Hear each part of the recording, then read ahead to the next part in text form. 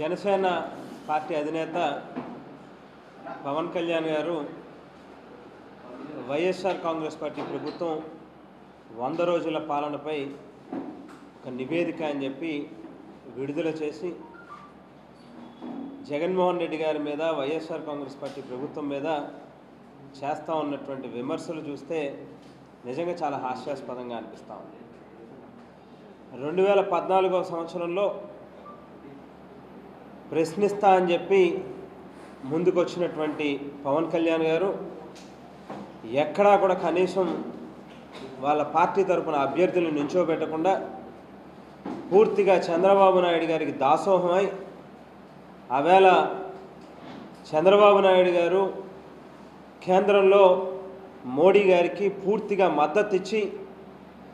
ఆ ఇద్దరు పార్టీలు కూడా ఆ ఇద్దరు నాయకులు కూడా ఒకరు ముఖ్యమంత్రిగాను ఒకరు ప్రధానమంత్రిగాను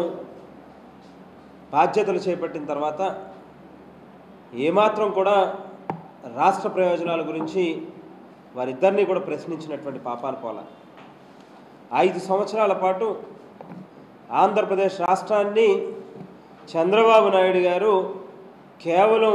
ప్రభుత్వం తాలూకా వనరుల్ని ఒక ఆదాయ వనరుల కింద ఉపయోగించుకున్నారు తప్పితే ఏదైతే ఎన్నికల్లో ఇచ్చినటువంటి వాగ్దానాలు ఉన్నాయో రైతుల రుణాలు మాఫీ చేస్తామని డ్వాక్రా రుణాలు మాఫీ చేస్తామని అనేక రకాల సుమారుగా ఆరు వందల యాభై వాగ్దానాలు ఇచ్చి ఏ ఒక్కటి కూడా నెరవేర్చినటువంటి పరిస్థితిలో మరి పవన్ కళ్యాణ్ గారు రోడ్డు మీదకి వచ్చి చంద్రబాబు నాయుడు గారిని ప్రశ్నించినటువంటి పాపాన్ని మాత్రం పోలేదు కానీ కేవలం మూడు నెలలకే ఈవేళ జగన్మోహన్ రెడ్డి గారిని మాత్రం ప్రశ్నించడానికి మరి పై మే- ముందుకు వచ్చారనంటే నిజంగా ఎన్నికలకి ముందు ఎన్నికలకి తర్వాత కూడా పూర్తిగా పవన్ కళ్యాణ్ గారికి చంద్రబాబు నాయుడు గారికి ఉన్నటువంటి సత్సంబంధాలు ఏ స్థాయిలో ఉన్నాయి అనేటువంటిది స్పష్టంగా అర్థమవుతా ఉందనేటువంటిది వాస్తవమైనటువంటి విషయం. ఇవాళ పవన్ కళ్యాణ్ గారు మాట్లాడుతూ ఇసుక విషయంలో ప్రభుత్వం వైఫల్యం చెందిందని చెప్పి విమర్శ చేస్తూ ఉన్నారు. గడిచిన కాలంలో చంద్రబాబు నాయుడు గారి ప్రభుత్వంలో ముఖ్యమంత్రి గారి దగ్గర నుంచి మొదలుపెట్టి ఆయన కొడుకు లోకేష్ గారి దగ్గర నుంచి మొదలుపెట్టి మంత్రులు శాసనసభ్యులు పచ్చ చొక్కా వేసుకునేటటువంటి ప్రతి తెలుగుదేశం పార్టీ కార్యకర్త కూడా పెద్ద ఎత్తున లక్షలాది రూపాయలు కోట్లాది రూపాయలు ఇసుక పేరు చెప్పి ఓ పెద్ద మాఫియాని నడిపించినటువంటి పరిస్థితి మీకు కళ్ళుకి కనిపించలేదా అని చెప్పని మిమ్మల్ని అడుగుతా ఉన్నాం ఈవేళ కేవలం మూడు నెలలు మాత్రమే అయింది. ఈవేళ వైఎస్ఆర్ కాంగ్రెస్ పార్టీ ప్రభుత్వం వచ్చి ఇసుక విషయంలో మేము వైఫల్యం చెందామని చెప్పి చెప్తా ఉన్నారు మీరు. మరి వాస్తవానికి మీరు చాలా విషయాల్లో కాస్త అనాలోచితంగా అవగాహన లోపంతో మాట్లాడుతూ ఉంటారు. ఇది కూడా దానికి సంబంధించినటువంటి విషయం అనేటువంటిది వాస్తవమైనటువంటి విషయం. వాస్తవానికి ఈ సీజన్లో ఫ్లడ్ ఉంటుంది కాబట్టి ఇసుక అందుబాటులోకి రావడం అనేటువంటిది కాస్త ఇబ్బందితో కూడుకున్నటువంటి విషయం ఒకటైతే జగన్మోహన్ రెడ్డి గారు పారదర్శకతకి అత్యంత ప్రాధాన్యతనిస్తూ ఏదైతే ఎన్నికల్లో ఇచ్చినటువంటి వాగ్దానాలను నెరవేర్చడం కోసం మరి ప్రభుత్వంలో ఉన్నటువంటి వనరుల్ని ఎక్కడా కూడా అవినీతి పరులకు కానీ అక్రమ చేసేటటువంటి వ్యక్తులకు కానీ అందకూడదనేటువంటి ఒక ఉద్దేశంతో ఒక పారదర్శకతని తీసుకొస్తూ ఇవాళ ఇసుక విషయంలో కూడా ఒక మంచి పాలసీని తీసుకుని రావాలనేటువంటి ఉద్దేశంతో పెద్ద ఎత్తున దాని మీద కసరత్తు చేస్తూ ఉంటే మరి ఈవేళ మీరు ఇసుక గురించి ప్రభుత్వం మీద నిందలేసేటటువంటి కార్యక్రమం చేస్తూ ఉన్నారు. వాస్తవానికి ఈ సీజన్ అసలు ఫ్లడ్ ఉన్నప్పుడు ఇసుక అందుబాటులోకి రాదు అనేటువంటి విషయం కూడా మీకు అవగాహన లేకపోవడం నిజంగా బాధ అనిపిస్తున్నటువంటి విషయం. మీలాంటి వ్యక్తులు ఈవేళ ఒక పార్టీలు స్థాపించి ఒక పార్టీ నడుపుతో కూడా కనీసం ఇటువంటి అవగాహన రాహిత్యమైనటువంటి మాటలు మాట్లాడుతూ ఉన్నందుకు నిజంగా మేము అందరం కూడా బాధపడతా ఉన్నటువంటి విషయాన్ని కూడా ఈ సందర్భంగా తెలియజేస్తా ఉన్నాం. దాంతోపాటుగా రాష్ట్ర ఆర్థిక పరిస్థితులపై కూడా మీరు మాట్లాడుతూ ఉన్నారు. మీకు గడిచిన ఐదేళ్ళ కాలంలో చంద్రబాబు నాయుడు గారు చేసినటువంటి అప్పులు కానీ చంద్రబాబు నాయుడు గారి తాలూకు అవినీతి కోసం సుమారుగా ఉన్న అన్ని ప్రభుత్వ రంగ సంస్థల్లో కానీ లేక అన్ని డిపార్ట్మెంట్స్లో కానీ అన్ని శాఖలకు సంబంధించినటువంటి అన్ని నిధుల్ని కూడా పూర్తిగా మళ్ళించి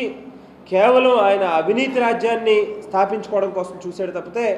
ఎక్కడా కూడా ప్రజా సంక్షేమం కోసం కానీ ప్రజలకి ఎన్నికల్లో ఇచ్చినటువంటి వాగ్దానాలు నెరవేర్చేటటువంటి కార్యక్రమం మీద కానీ శ్రద్ధ పెట్టలేదు. ఆ రోజు మీరు ఎందుకు చంద్రబాబు నాయుడు గారిని ప్రశ్నించేదానికి ఎదరికి రాలేదనేటువంటి విషయాన్ని కూడా ఈ సందర్భంగా అడుగుతా ఉన్నాం. అరవై సంవత్సరాల మరి ఆంధ్రప్రదేశ్ రాష్ట్ర అవతరణలో మరి కేవలం అరవై సంవత్సరాల్లోని తొంభై వే తొంభై ఏడు వేల కోట్ల రూపాయలు అప్పు అయితే మన రాష్ట్రం కేవలం ఐదు సంవత్సరాల చంద్రబాబు నాయుడు గారి పాలనలో సుమారుగా మూడు లక్షల కోట్ల రూపాయలకు అప్పులు చేరుకున్నాయనేటువంటి విషయం మీకు తెలియదా అనేటువంటి విషయాన్ని కూడా ఈ సందర్భంగా మిమ్మల్ని అడుగుతా ఉన్నాం. మరి జగన్మోహన్ రెడ్డి గారు ఆర్థికపరమైనటువంటి ఎన్ని సమస్యలు ఉన్నప్పటికీ కూడా ప్రభుత్వంలో మరి ఒక పెద్దగా ఒక రాష్ట్రానికి ఒక పెద్దన్నగా కానీ ఒక తండ్రి స్థానంలో ఉన్నటువంటి ఒక ముఖ్యమంత్రి స్థానంలో ఉన్నటువంటి వ్యక్తి మరి మేనిఫెస్టోలో ఏదైతే వాగ్దానాలు మనం ఇచ్చామో ఏదైతే అంశాలని మనం జోడించామో వాటన్నిటినీ కూడా ఖచ్చితంగా ఎన్ని కష్టాలు ఎదుర్కొన్నా కూడా ప్రజలకు ఇచ్చినటువంటి వాగ్దానాలని నెరవేర్చాలనేటువంటి దాని మీద మరి చాలా చిత్తశుద్ధితో పనిచేస్తా ఉన్నటువంటి పరిస్థితి మీకు కనిపించట్లేదా అనేటువంటి విషయాన్ని కూడా ఈ సందర్భంగా మిమ్మల్ని ప్రశ్నిస్తూ ఉన్నాం. వాస్తవానికి బహుశా ఒక్క ఆంధ్రప్రదేశ్ రాష్ట్రంలోనే కాదు. యావత్ ప్రపంచ దేశాల్లోనే ఏ ప్రభుత్వం కూడా మొట్టమొదటి బడ్జెట్లోనే తాను ఎన్నికల్లో ఇచ్చినటువంటి ప్రతి వాగ్దానాన్ని కూడా నెరవేర్చేటటువంటి దిశగా అడుగులు వేసినటువంటి ప్రభుత్వం మాత్రం కేవలం వైఎస్ఆర్ కాంగ్రెస్ పార్టీ మాత్రమే ఉంది అనేటువంటిది వాస్తవమైనటువంటి విషయం. ఎన్నికల మేనిఫెస్టోలో ఏదైతే వాగ్దానాలని ఇచ్చామో వాటిల్లో ఎనభై శాతం అంశాలని పూర్తిగా నెరవేర్చేటటువంటి దిశగా అడుగులు వేస్తూ ఉన్నాం. మరి వాటితో పాటుగా సుమారుగా దగ్గర దగ్గర పంతొమ్మిది కొత్త పాలసీలను కూడా తీసుకుని రావడం కూడా జరిగింది. బిల్స్ని పాస్ చేయడం కూడా జరిగింది. ఇవన్నీ కూడా మీకు కనిపించకపోవడం అనేటువంటిది నిజంగా సిగ్గుచేయడం అనేటువంటి విషయం. మరి ఈవేళ మరో అంశం మీరు మాట్లాడుతూ ఉంది రాష్ట్రంలో వైద్యం ఆరోగ్యానికి సంబంధించినటువంటి అంశాలు కానీ సీజనల్ వ్యాధులకు సంబంధించినటువంటి అంశాలు కానీ మీరు మాట్లాడి దాని మీద కూడా ప్రభుత్వం మీద విమర్శ చేయడం జరిగింది. వాస్తవానికి మరి కళ్ళు మీకు పచ్చకామెరలు వచ్చినటువంటి విధంగా చంద్రబాబు నాయుడు గారు ఏ రకంగా అయితే ఆలోచన చేస్తూ ఉన్నాడో అదే రకంగా యాజ్ ఇట్ ఈజ్గా ఆయన నోట్లోంచి ఏవైతే మాటలు వస్తూ ఉన్నాయో ఆయన మదిలో ఏవైతే ఆలోచనలు వస్తూ ఉన్నాయో ఆయన ప్రజలకి ఏదైతే ఒక మెసేజ్ని ఇస్తూ ఉన్నాడో యాజ్ ఇట్ ఈజ్గా వాటినే కాపీ చేస్తూ మరి చంద్రబాబు నాయుడు గారు ఇచ్చినటువంటి స్క్రిప్ట్నే మీరు కూడా మీ నోట్లోంచి మాట్లాడుతూ ప్రజలకు కూడా అదే రకమైనటువంటి సందేశాన్ని ఇచ్చేటటువంటి కార్యక్రమం కూడా మీరు చేస్తూ ఉన్నారు. మరి బహుశా వైద్యానికి ఆరోగ్యానికి వైఎస్ఆర్ కాంగ్రెస్ పార్టీ ప్రభుత్వం ఇస్తా ఉన్నటువంటి జగన్మోహన్ రెడ్డి గారు ఇస్తా ఉన్నటువంటి ప్రాధాన్యత ఏ ఒక్క ప్రభుత్వం కూడా ఇవ్వట్లేదు అనేటువంటి గత చరిత్రలో చూసుకున్నా కూడా మీకు అర్థమవుతుంది అనేటువంటి వాస్తవం. గతంలో కూడా దివంగత ముఖ్యమంత్రి డాక్టర్ వైఎస్ రాజశేఖర రెడ్డి గారు మరి ప్రపంచ దేశాల్లోనే ఎక్కడా లేనటువంటి ఒక గొప్ప పథకాన్ని ఆరోగ్యశ్రీ పథకాన్ని ఆవేళ రాజశేఖర రెడ్డి గారు ప్రవేశపెడితే మరి గడిచిన ఐదేళ్ళ కాలంలో చంద్రబాబు నాయుడు గారు అనేక రకాల రోగాల్ని ఆ ఆరోగ్యశ్రీ పరిధిలోంచి తొలగించడం కానివ్వండి లేక బిల్స్ చెల్లించకుండా